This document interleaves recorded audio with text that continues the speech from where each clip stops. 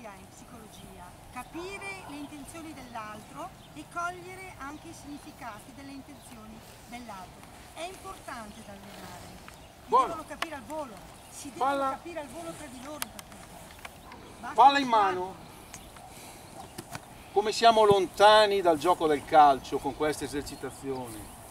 La palla, decidete, è una fascia e allora vi dovete fasciare come una mummia, oppure è vernice e dovete dipingervi tutti. Me la fate rotolare pian piano su tutte le parti del corpo senza dimenticare neanche un centimetro. Via, vi do il tempo di farlo. Ascoltate bene il vostro corpo perché dovete sapere se è passato troppo in fretta non ti ricordi, il tuo corpo non ha memoria, eh? quindi fallo un po' più lentamente. Tutte. Ovviamente compresa la suola della scarpa. Ovviamente il cavo popliteo ha il termine difficile, ma è il momento per insegnarvelo qual è. Dietro al ginocchio.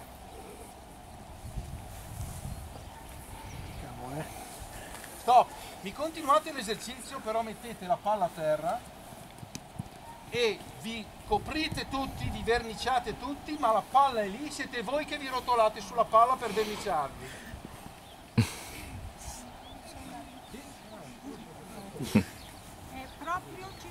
Deve passare su tutto il del proprio corpo. corpo che poi tradurrò in spazio proiettivo. Utilizzo dello spazio proiettivo, come uso le mie parti e insieme per calcolare Faccio io la il peso. ovalizza. Se non faccio io la ovalizza. Va bene ragazzi, bravi, può bastare perché il significato si è capito. Siamo lontani dal gioco del calcio? No, no. Perché quando io spiego un esercizio, loro devono capire, si parla oggi di imitazione, no? i neuroni specchio, imito, importante, ma è difficile imitare.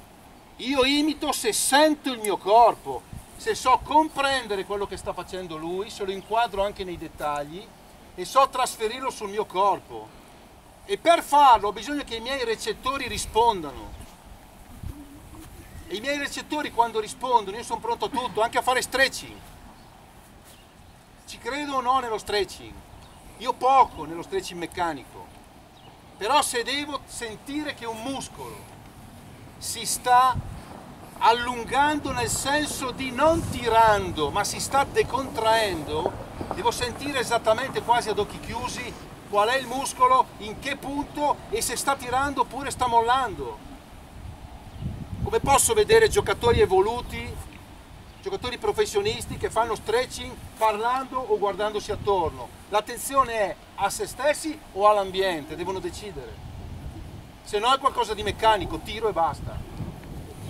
Allora, abituare ai propri recettori che mi informano. Ecco che allora diventa, diventa importante anche questa esercitazione. Ti sto parlando di attività di base, non, non- non sto parlando come Fabio di un momento più alto nel percorso dove queste cose dovrebbero essere acquisite. Noi dobbiamo sollecitarle prima, riprenderle anche dopo quando c'è bisogno, ma sollecitarle prima per portarli a lui in buone condizioni.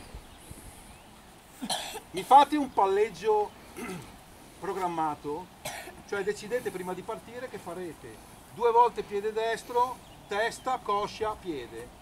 Dico io a caso, eh. Inventatevela voi, adatta al vostro livello e provatela. E verificate se fate quello che avete programmato.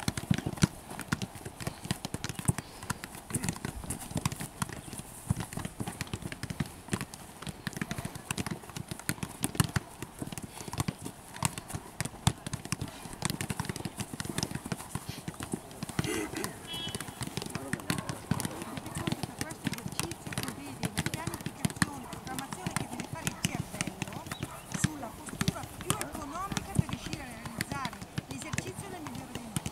Ok, stop! Sono solo piccoli cenni, eh. Eh, teniamo presente una cosa, che nessuna pedagogia può prescindere da un'analisi del sociale di oggi, attuale. E qui potremmo andare in dibattito. Il sociale di oggi vede dei bambini, dei ragazzini, che stanno poco sul pezzo, non hanno, perché li abbiamo cresciuti così, li abbiamo abituati così, non hanno la volontà di star sul pezzo, l'orgoglio di riuscire. Sbaglio continuo, continuo finché...